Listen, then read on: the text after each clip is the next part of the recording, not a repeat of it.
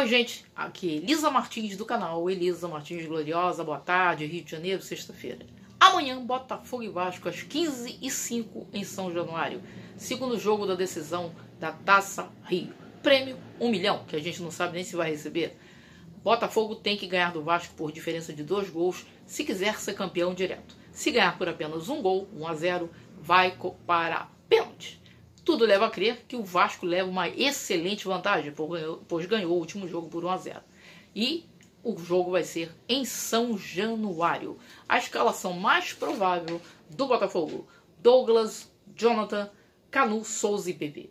No meio, Rickson, Friso, Pedro Castro. Na frente, Felipe Ferreira, Marco Antônio e Matheus Nascimento. Repetindo, Douglas, Jonathan, Canu, Souza e PP. No meio, Rickson, Friso e Pedro Castro.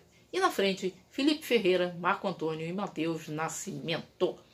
Botafogo perdeu, né? O Marco Antônio. Marco Antônio foi para o Sampaio Correia. É, o Marco Antônio do Botafogo estava interessado, vazou. O Botafogo não fez proposta, o Marco Antônio foi para o Sampaio Correia. Enquanto isso, o Chay foi contratado pelo Botafogo, que por sinal, no, na minha opinião, uma excelente contratação pelo nível de contratações que o Botafogo teve. Não é verdade? Então, pelo menos o Chay é do Botafogo até final do ano por empréstimo. Quanto ao jogo de amanhã, não sei não. Se nós perdermos, grande alegria, porque o Chamusca e Freeland vão para a ponte que partiu. Se nós ganharmos, seremos campeões da Taça Rio, mas em compensação, vamos ficar com Freeland e Chamusca. Você decide qual é o melhor para o Botafogo. Não é isso?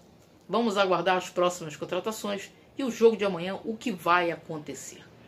Tomara que Chamusca, mesmo ganhando, se o Botafogo ganhar, for campeão, que vá embora junto com o Freeland. Trabalhos horrorosos.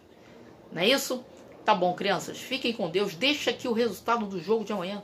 Botafogo e Vasco. Segundo jogo da decisão. Botafogo ganhando de 1 a 0, pênalti. Ganhando de 2 a 0, campeão direto.